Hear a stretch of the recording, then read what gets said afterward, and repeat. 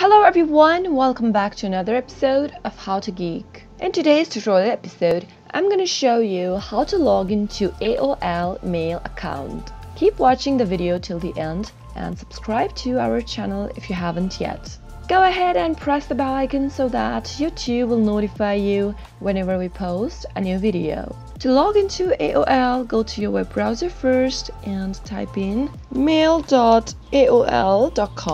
Hit the enter on your keyboard and soon you'll end up in the sign in page of AOL. Enter your username, your email, or your mobile number. Enter any one of them and click on the next button. Prove that you're not a robot by clicking on I'm not a robot and click on continue. For verification, you'll need to receive a code from AOL. Click on yes, send me a code and wait for the code to arrive. After you receive the code, enter the code that has been sent to you and click on verify. Choose the account you want to sign in with and that is it. You have logged into AOL mail account. I hope the tutorial was helpful to you. If it was, go ahead and give it a thumbs up.